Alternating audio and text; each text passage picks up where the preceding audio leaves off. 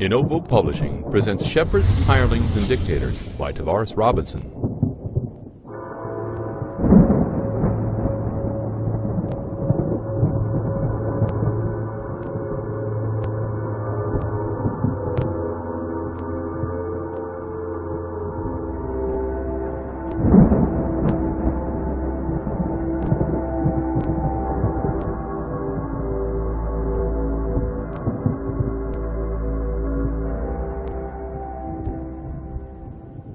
As vulnerable sheep needing protection, God appointed shepherds over us.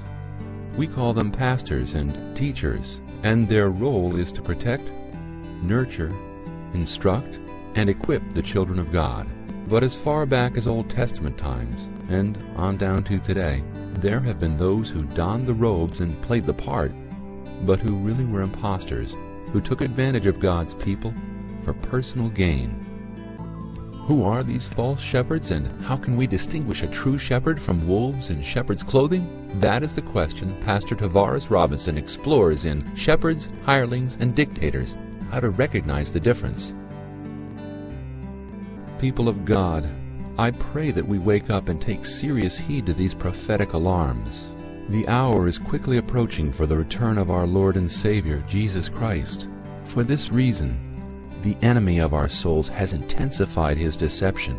This is the season to really distinguish a true shepherd from a false shepherd, because whomever you follow in these last days will determine your end.